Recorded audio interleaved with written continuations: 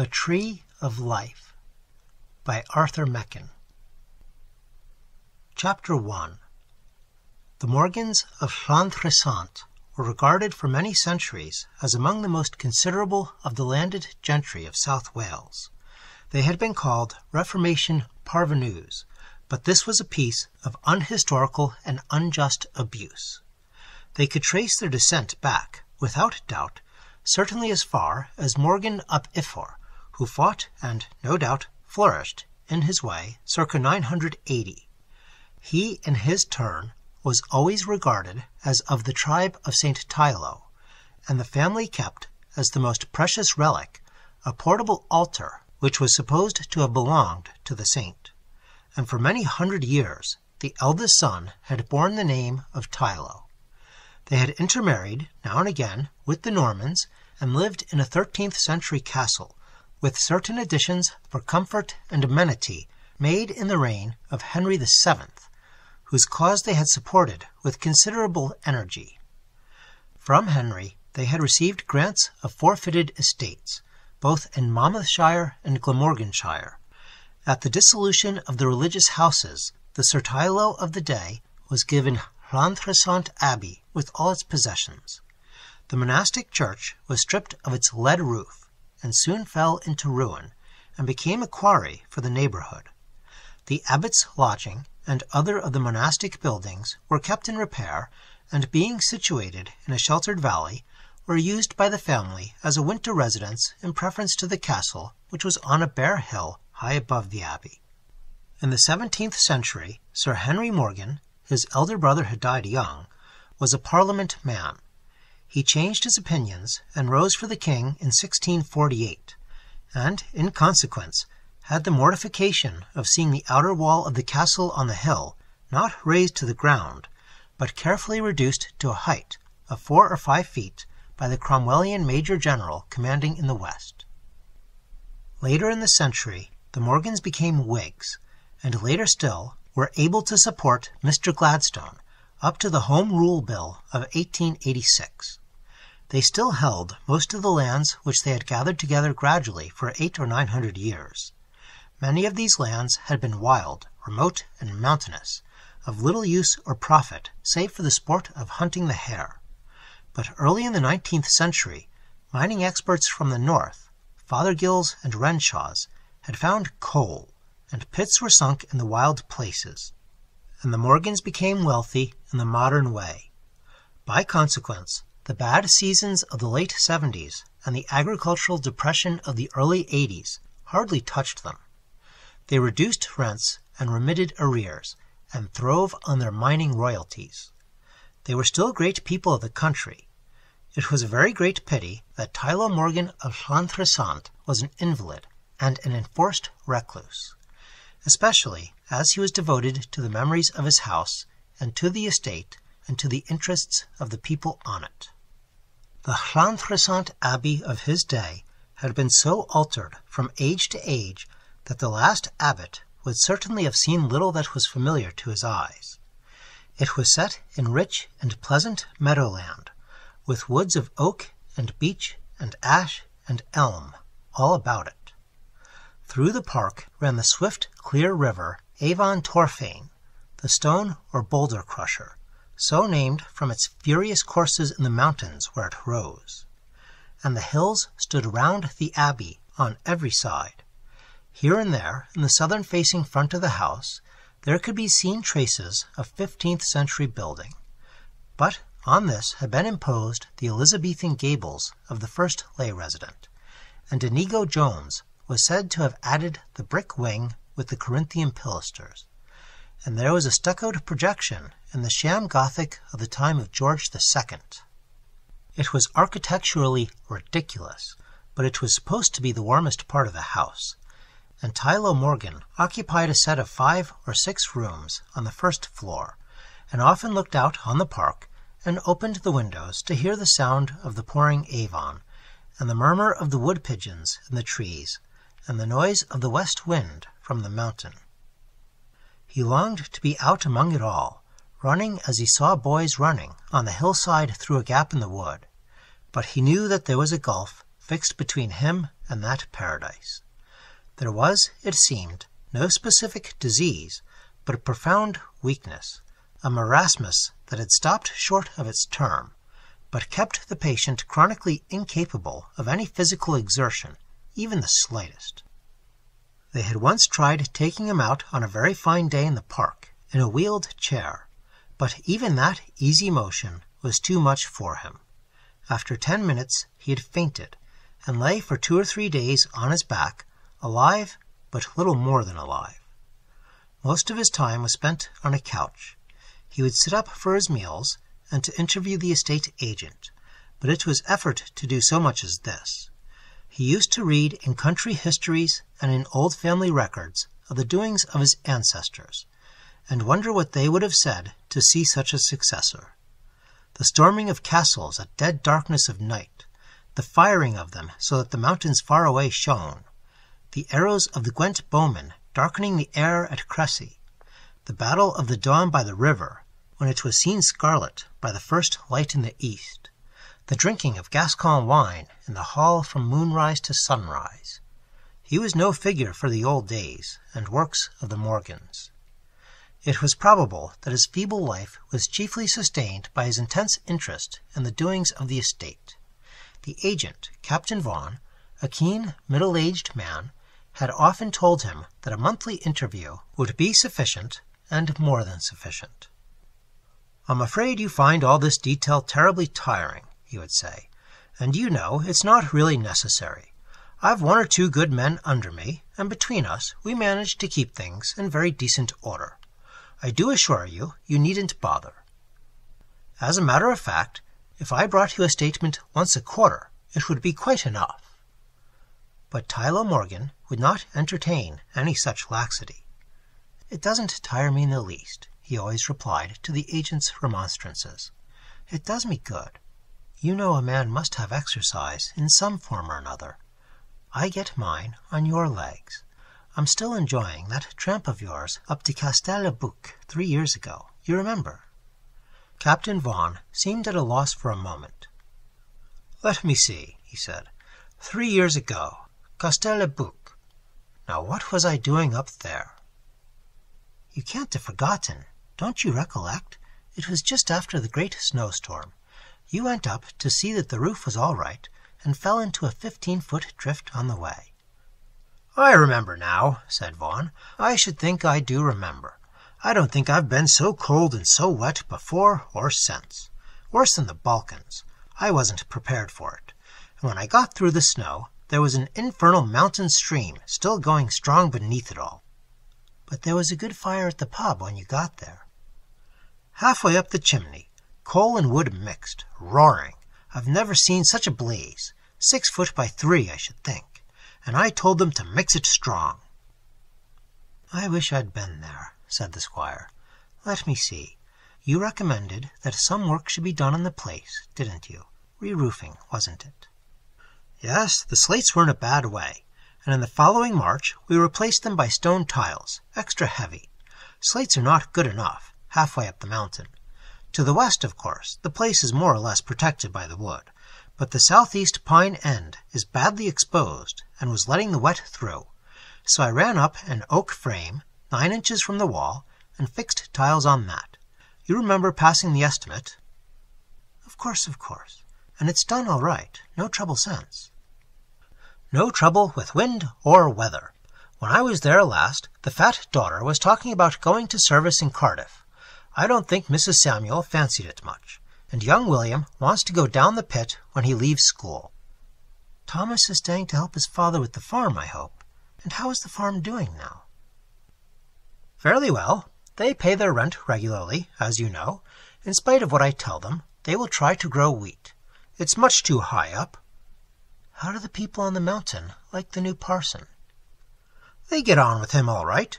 He tries to persuade them to come to Mass, as he calls it, and they stay away and go to meeting, but quite on friendly terms, out of business hours." "I see. I should think he would be more at home in one of the Cardiff parishes. We must see if it can't be worked somehow. And how about those new pigsties at Tye, Captain? Have you got the estimate with you? Read it out, will you? My eyes are tired this morning. You went to Davy's for the estimate. That's right.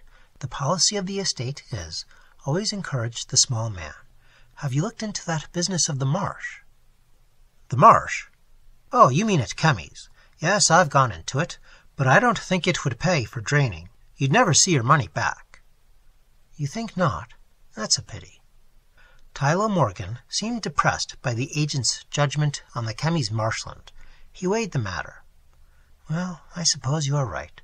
We mustn't go in for fancy farming. But look here, it's just struck me. Why not utilize the marsh for growing willows? We could run a sluice from the brook right across it. It might be possible to start basket making. In a small way, of course, at first. What do you think? That wants looking into, said Captain Vaughan. I know a place in Somerset where they are doing something of the kind. I'll go over on Wednesday and see if I can get some useful information. I hardly think the margin of profit would be a big one, but he would be satisfied with two per cent. Certainly. And here's a thing I've been wanting to talk to you about for a long time, for the last three or four Mondays, and I've always forgotten. You know the Gregg on the farmhouse, a beautiful southern exposure and practically wasted. I feel sure that eggplants would do splendidly there. Could you manage to get out some figures for next Monday? There's no reason why the eggplant shouldn't become as popular as the tomato and the banana, if a cheap supply were forthcoming. You will see to that, won't you? If you're busy, you might put off going to Somerset till next week. No hurry about the marsh.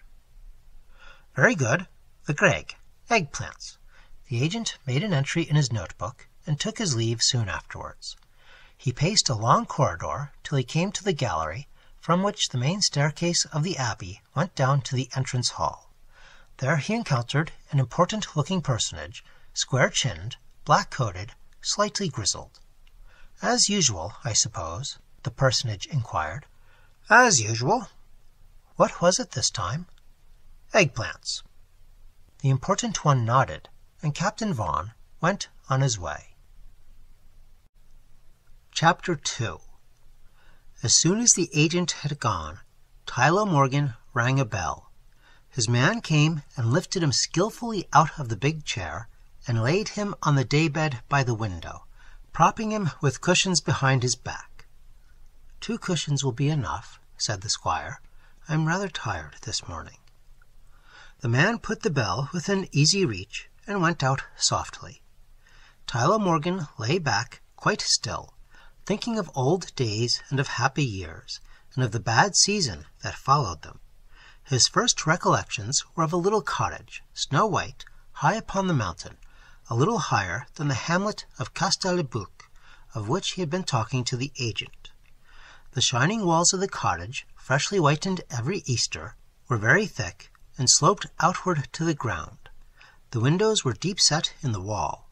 By the porch which sheltered the front door from the great winds of the mountain, were two shrubs, one on each side, that were covered in their season with orange colored flowers, as round as oranges, and these golden flowers were, in his memory, tossed and shaken to and fro in the breeze that always blew in that high land, when every leaf and blossom of the lower slopes were still.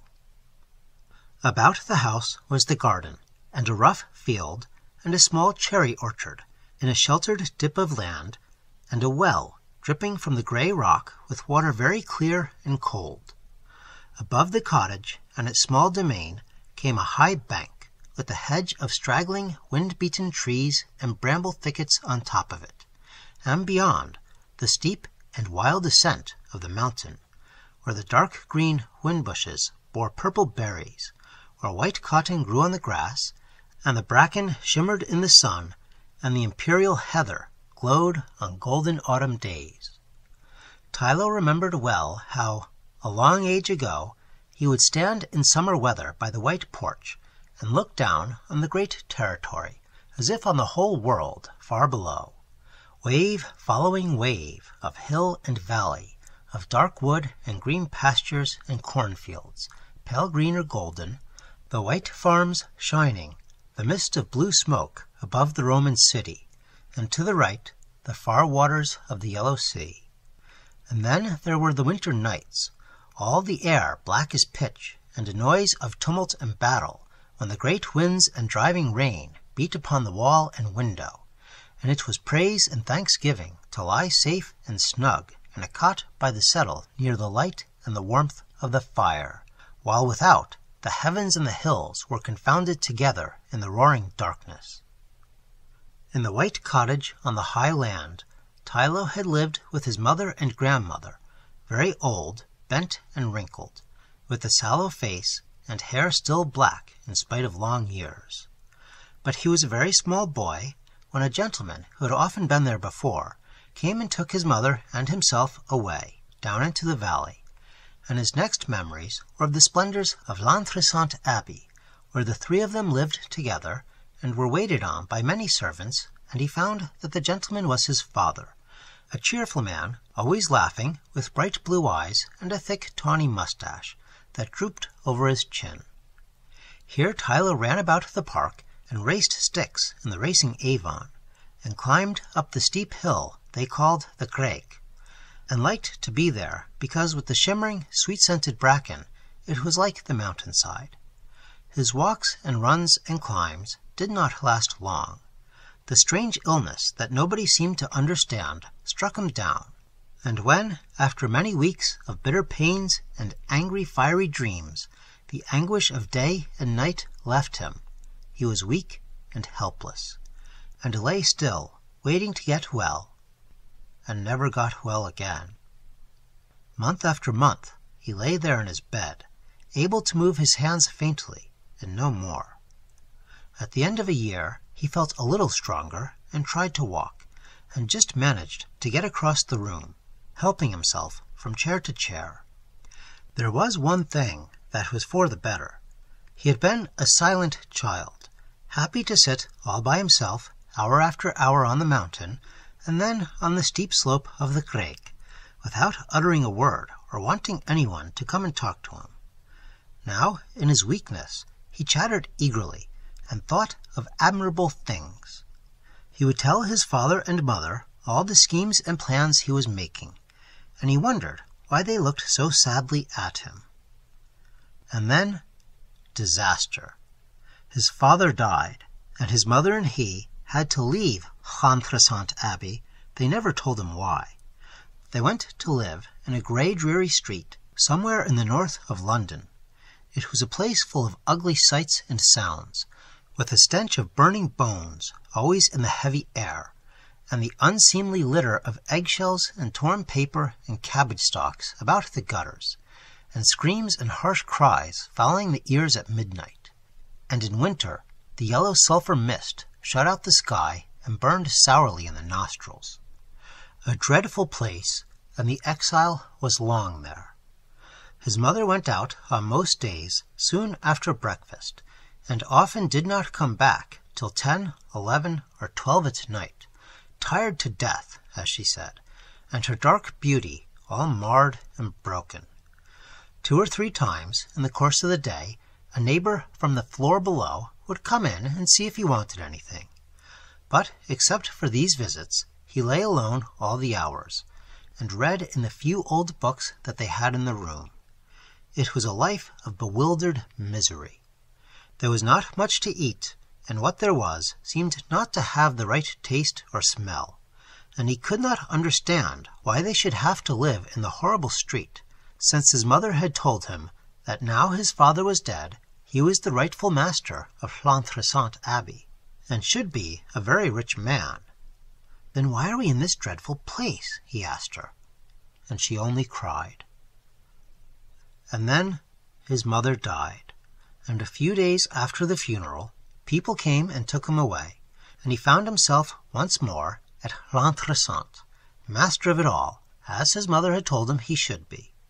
He made up his mind to learn all about the lands and the farms that he owned, and got them to bring him the books of the estate, and then Captain Vaughan began to come and see him, and tell him how things were going on, and how this farmer was the best tenant in the county, and how that man had nothing but bad luck, and John Williams would put gin in his cider, and drive breakneck down steep stony lanes on market nights, standing up in the cart like a Roman charioteer.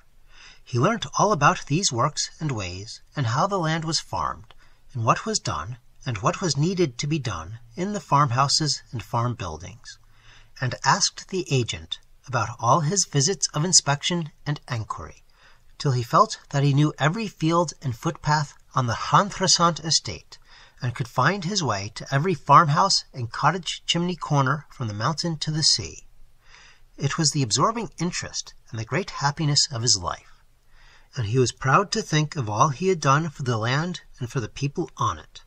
They were excellent people, farmers, but apt to be too conservative, too much given to stick in the old ruts that their fathers and grandfathers had made, obstinately loyal to the old methods in a new world. For example, there was Williams, Penarhall, who almost refused to grow roots, and Evan Thomas, Glascoat, who didn't believe in drain pipes and tried to convince Vaughan that bush drainage was better for the land, and a half dozen, at least, who were sure that all artificials exhausted the soil, and the silly fellow who had brought his Black Castlemartins with him from Pembrokeshire, and turned up his nose at Shorthorns and Herefords. Still, Vaughan had a way with them, and made most of them see reason sooner or later, and they all knew that there was not another estate in England or Wales that was so ready to meet its tenants halfway, to do repairs and build new barns and cowsheds very often before they were asked. Teilo Morgan gave his agent all the credit he deserved, but at the same time he could not help feeling that in spite of his disabilities, of the weakness that kept him a prisoner to these four or five rooms, so that he had not once gone over the rest of the Abbey since his return to it, in spite of his invalid and stricken days, a great deal was owing to himself and to the fresh ideas that he had brought to the management of the estate.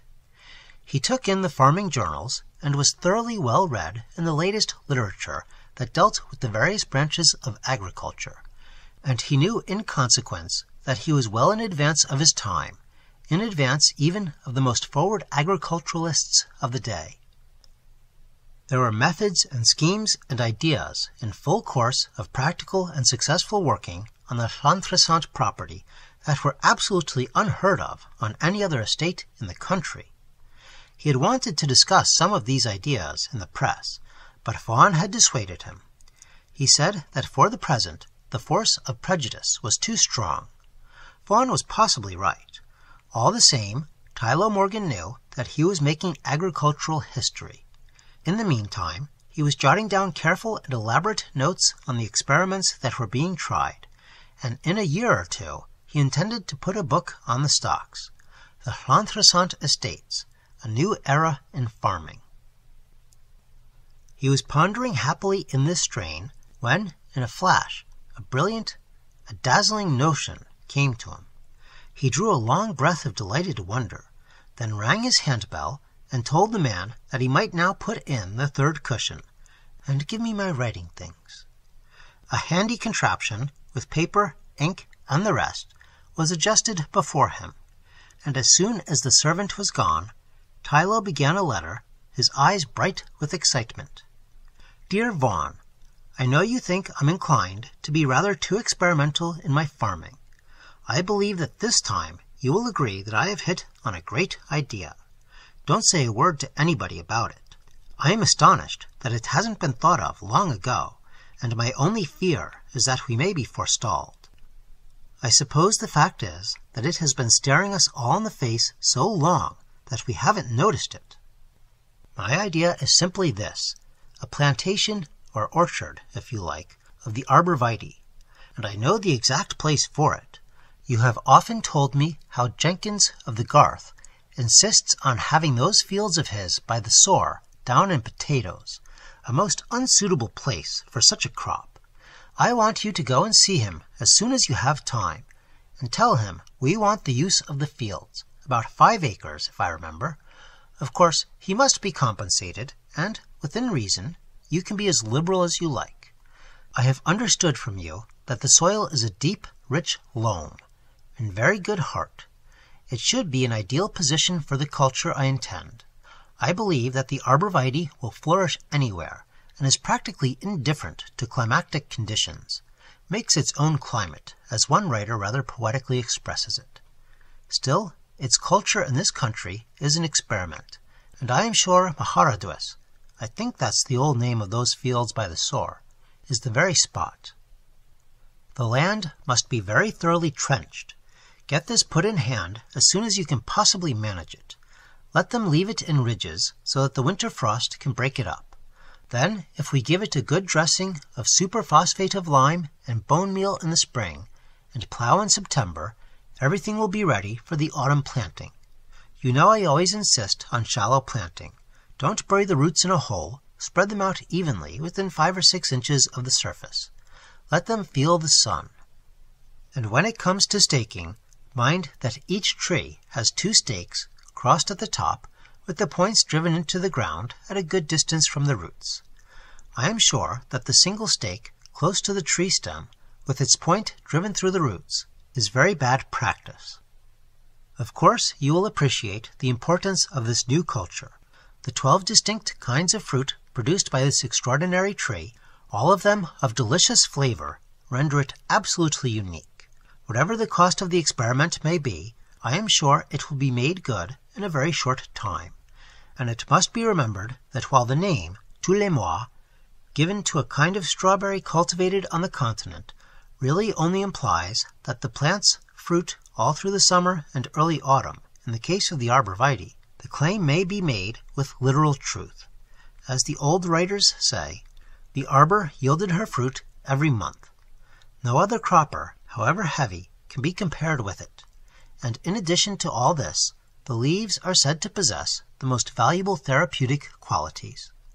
Don't you agree with me that this will prove by far the most important and far reaching of all our experiments? I remain, yours sincerely, Teilo Morgan. P.S. On consideration, I think it might be better to keep the dressing of super and bone meal till the autumn, just before plowing. And you might as well begin to look up the nurserymen's catalogues. As we shall be giving a large order, you may have to give it with two or three firms. I think you will find the arbor vitae listed with the coniferae. Chapter 3 Long years after all this, two elderly men were talking together in a club smoking room. They had the place almost to themselves. Most of the members, having lunched and taken their coffee and cigarettes, had strolled away. There was a small knot of men with their heads close together over the table, chuckling and relating and hearing juicy gossip. Two or three others were dotted about the solemn funebrous room, each apart with his paper, deep in his armchair. Our two were in a retired corner, which might have been called snug in any other place. They were old friends, it appeared, and one, the less elderly, had returned not long before from some far place, after an absence of many years. "I haven't seen anything of Harry Morgan since I've been home," he remarked. "I suppose he's still in town." "Still in Beresford Street, but he doesn't get out so much now. He's getting a bit stiff in the joints. A good ten years older than I am." "I should like to see him again. I always thought him a very good fellow." "A first-rate fellow. You know that story about Bartle Frere. Man was sent to meet him at the station, and asked how he should know him. They told him to look out for an old gentleman with grey whiskers helping somebody. And he found Frere helping an old woman with a big basket out of a third-class carriage. Harry Morgan was like that, except for the whiskers." There was a pause, and then the man who had retold the old Sir Bartle Frere story began again. I don't suppose you ever heard the kindest thing Morgan ever did. One of the kindest things I've ever heard of. You know I come from his part of the country. My people used to have Plas Henoch, only a few miles from Llantrisant Abbey, the Morgan's place. My father told me all about it, but I don't think many people got to hear of it. Harry kept the thing very dark. Upon my word, what is it about a man not letting his left hand know what his right hand is about? Morgan has lived up to that, if any man ever did. Well, it was like this. Have you ever heard of old Teilo Morgan? He was a bit before our day. Not an old man, by the way. I don't suppose he was much over forty when he died. Well, he went the pace in the old style. He was very well known in town, not in society, or rather in damned bad society, and not far from here either. They had a picture of him in some low print of the time, with those long whiskers that used to be worn then. They didn't give his name, just called it the Hero of the Haymarket. You wouldn't believe it, would you? But in those days the Haymarket was the great place for night houses, Kate Hamilton and all that lot. Morgan was in the thick of it all, but that picture annoyed him. He had those whiskers of his cut off at Truefitt's the very next day. He was the sort of man they got the silver dinner service out for, when he entertained his friends at Cremorne, and Judge and Jury, and the Pose Plastique, and that place in Windmill Street where they fought without the gloves, and all the rest of it. And it was just as bad down in the country. He used to take his London friends, male and female, down there, and led the sort of life he lived in town, as near as he could make it. They used to tell a story, true very likely, of how he and a half dozen rapscallions like himself were putting away the port after dinner, and making a devil of a noise, all talking and shouting and cursing at the top of their voices, when Teilo seemed to pull himself together and get very grave all in a minute. Silence, gentlemen! he called out. The rest of them took no notice. One of them started a blackguard song, and the others got ready to join in the chorus. Hold your damn tongues, damn you! Morgan bawled at them, and smashed a big decanter on the table. Do you think, he said, that that's the sort of thing for youngsters to listen to? Have you no sense of decency? Didn't I tell you that the children were coming down to dessert? With that, he rang a bell that was by him on the table, and, so the story goes, six young fellows and six young girls came trooping down the big staircase, without a single stitch on them, calling out in squeaky voices, Oh, dear papa, what have you done to dear mamma? and the rest of it. The phrase was evidently an inclusive, vague, but altogether damnatory clause with this teller of old tales. Well, he continued, you can imagine what the county folk thought of all that sort of thing. Teilo Morgan made Llantrisant Abbey stink in their nostrils. Naturally, none of them would go near the place. The women, who were, perhaps, rather more particular about such matters than they are now, simply wouldn't have Morgan's name mentioned in their presence. The Duke cut him dead in the street. His subscription to the hunt was returned. I don't think he cared. You know garden parties were beginning to get fashionable then, and they say Morgan sent out engraved invitations, with a picture of a nymph and a satyr on them that some artist fellow had done for him. Not a nice picture at all, according to county standards. And what do you think he had at the bottom of the card instead of RSVP? No clothes by request. He was a damned impudent fellow, if you like. I believe the party came off all right, with more friends from town, and most unusual games and sports on the lawn and in the shrubberies. It was said that Treowen, the Duke's son, was there, but he always swore through thick and thin that it was a lie. But it was brought up against him afterwards when he stood with Herbert for the county. And what do you think happened next? A most extraordinary thing. Nobody was prepared for it. Everyone said he would just drink and devil and wench himself to death, and a damned good riddance. Well, I'll tell you. There was one thing, you know, that everybody had to confess. In his very worst days, Teilo Morgan always left the country girls alone. Never interfered with the farmers' daughters or cottage girls or anything in that way.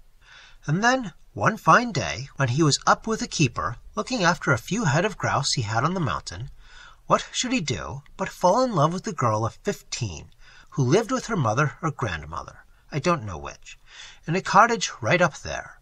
Mary Trevor, I believe her name was. My father had seen her once or twice, afterwards, driving with Morgan in his tandem. He said she was a most beautiful creature, a perfectly lovely woman. She was a type that you see sometimes in Wales. Very dark, black eyes, black hair, oval face, skin a pale olive. Not at all unlike those girls that used to prance up and down Arles in southern France, and with their hair done up in velvet ribbons. I don't know whether you've ever been there. There's something oriental about that style of beauty. It doesn't last long. Anyhow, Teilo Morgan fell flat on the spot. He went straight down to the Abbey and packed the whole company up back to town, told them they could go to hell, or bloody Jerusalem, or the Haymarket, for all he cared. As soon as they'd all gone, he went off to the mountain again. He wasn't seen at the Abbey for weeks. I'm sure I don't know why he didn't marry the girl straight away. Nobody knew. She said that he did marry her, but we shall come to that presently. In due course, the baby came along, and Morgan wanted to pension off the old lady and take the mother and child down to Llantrisant. But the doctors advised against it. I believe Morgan got some very good men down, and they were all inclined to shake their heads over the child. I don't think they committed themselves or named any distinct disease or anything of that kind, but they were all agreed that there was a certain delicacy of constitution, and that the boy would have a much better chance if they kept him up in the mountain air for the first few years of his life. Llantrisant Abbey, I should tell you, is right down in the valley by the river, with woods and hills all around it. Fine place, but rather damp and relaxing, I dare say. So the long and short of it was that young Teilo stayed up with his mother and the old woman, and old Teilo used to come and see them for weekends, as they say now, till the boy was four or five years old, and then the old lady was looked after somewhere or other, and the mother and son went to live at the Abbey.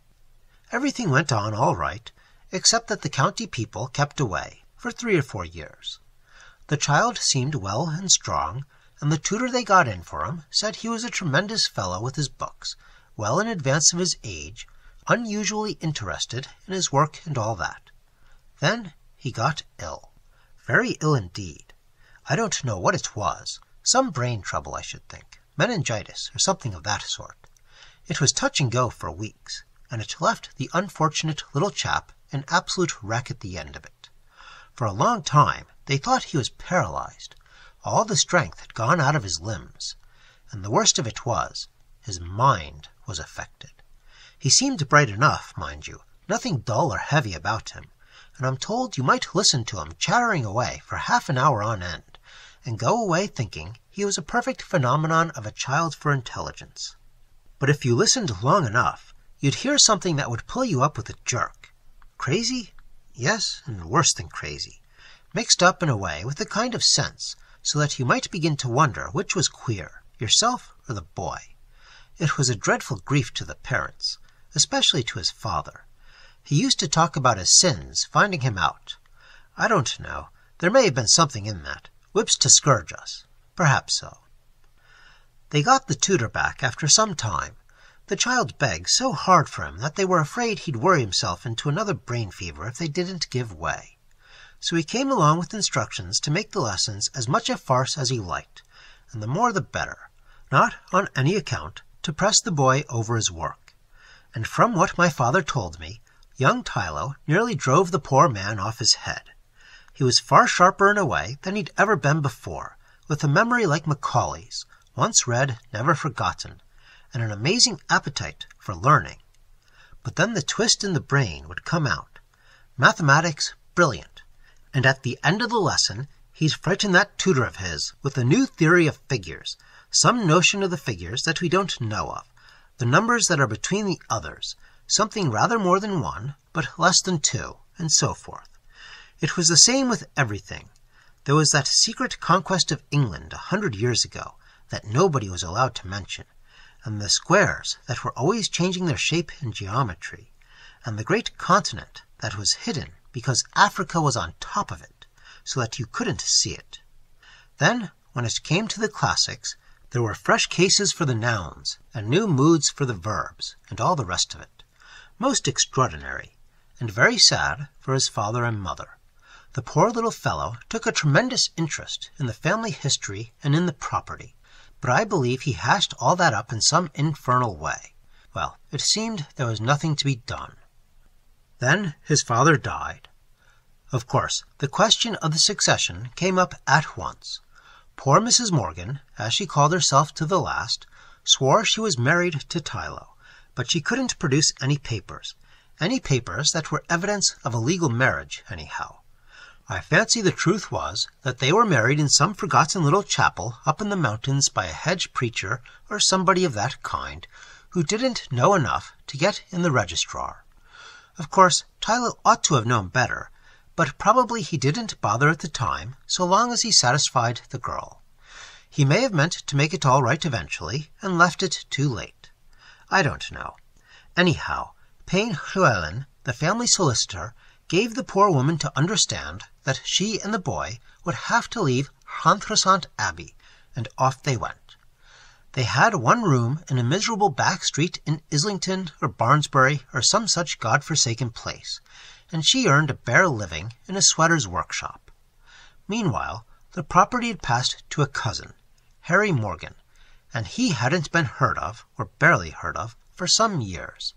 He had gone off exploring Central Asia, or the sources of the Amazon, when Teilo Morgan was in his glory, if you can put it that way.